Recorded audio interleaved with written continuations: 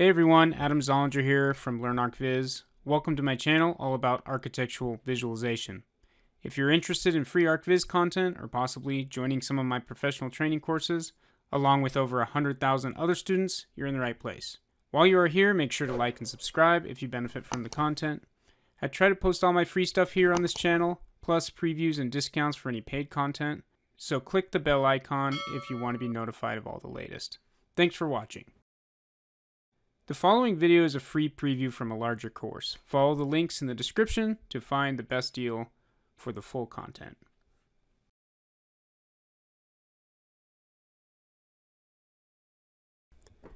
All right, for the last little bit about lighting, we of course need to look at like regular lights instead of just a sun, right?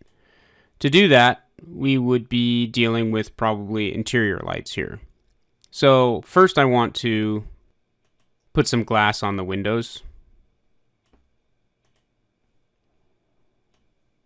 And fortunately, the new V-Ray, V-Ray 5, has this cool material browser, and we can just put a glass. Okay, with the glass here in the V-Ray material, we can have this glass selected on my building. Right click here and apply to selected objects. Okay. Super easy, super cool that this is available. Now let's just, with the material editor open, let's grab this little pick material from object thing and just grab that glass. And we can look at it here. If you don't know anything about materials yet, and if you don't have V-Ray 5, then what you can do is just grab, just make your diffuse color black, your reflect color sort of white, and your refract color white and copy these settings here and you should have some glass that you can see through to put into your scene so that we can test out lighting. Okay, we're going to get into the materials a lot more later, but if you don't have V-Ray 5 where you can just drop this in, then that's what you can do. Okay, I'm going to do one other thing and that's just put put the glass material on this sub object of this door here. So I'm selecting the element of the glass part and just going to my glass and saying assign to selection. Okay, and that can do it to the sub object only. So the rest of it remains this default material. Okay, now that that's there, if we just look at the rendering, we'll see that now we have glass here and we need to light up the inside of our scene, right? A couple different ways to do that. The important part is, you know, seeing how these lights work. So I'm going to use strictly V-Ray lights because that's what we're learning about. Okay, in, in a V-Ray light, in a standard V-Ray light, there is different kinds. We already saw the dome. There's a sphere light, there's a mesh light, there's a disc light, and there's a plane light. Plane and disc are the same essentially, except one has a, a disc-shaped emitter, light emitter, Okay, and one has a plane shaped, like that. Okay, so they both emit light in the same way, same direction even. The arrow is showing you the direction they point light. But they have different shaped emitters. Okay, now the arrows, like I said, is showing the way that it points. We can go to this rectangle slash disc light and tell it to be more directional. Okay, so we can say when it's selected, it shows what direction it's going. Okay. So this is just making it more of a spotlight versus more of a, a light that shines kind of straight out to the sides. Okay, so you'll you'll want to adjust that to make your lights look more accurate to what you're trying to do. This one we can preview the direction when selected. And it's got the same thing going on, but you can see it's more square than circular. Okay? And that's it. We can put these into the scene. So say we wanted can lights. Let's just use this one as an example. So we want to make this a can light, which means we need to make the radius smaller, like a can light. It matters. A can light would be either 2 inch radius or 3 inch radius. We'll say 2, and then a can light will shine down kind of like that. Let's put it into our house Go to the right view, make sure it's in the right place. We'll put it up here. And we'll kind of cheat a little bit too, and we'll just make it visible so that we don't even have to model a can light. We'll just leave that light visible right there. Okay, I'm locking the selection and then I'm going to copy. Actually instance it.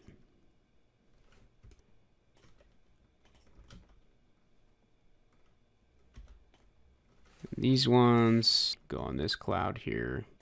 Okay, so I have four lights up on that ceiling now. Let's see what it looks like just as it is. You can see we're getting basically no light in there, and that's again because of relative exposure. Okay, so whatever our settings for our sky and our exposure are on the camera is way, way brighter than what these lights are putting out. So you can hardly see them.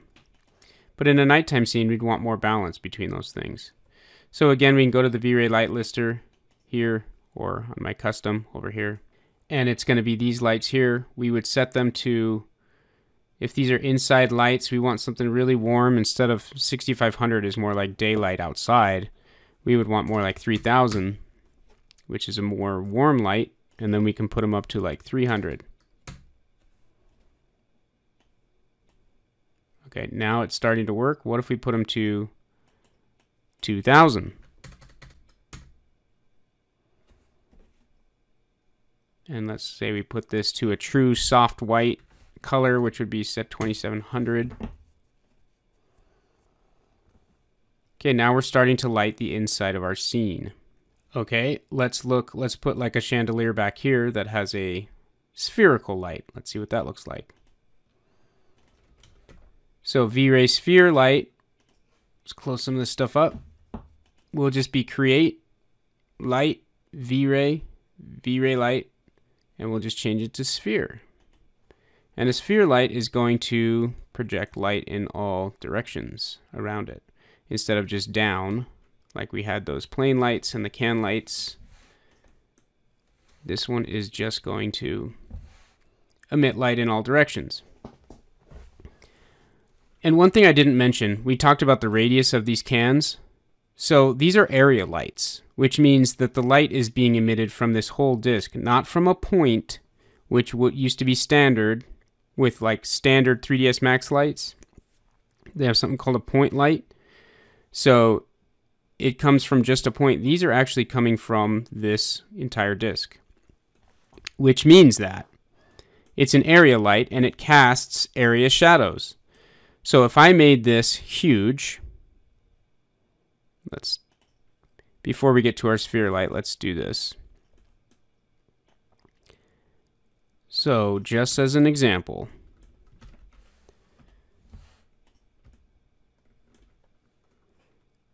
let's create a sphere right here and set it on our back patio. And then light it with this thing. This, this is a very important principle with lights. Okay, let's turn that thing up to 3000 and render. Okay, that's a little too bright. Okay, there we go. So I put it at 500 and that brings up another interesting point too, and that is that the size of the light matters. These can lights had to be turned way up to to light up the room. But this big light out here, since it's huge, well, compared to the can lights, it doesn't need nearly as much intensity to light something up. Okay, but also because of the size of it, you can see the shadow on there is kind of crisp that it's casting.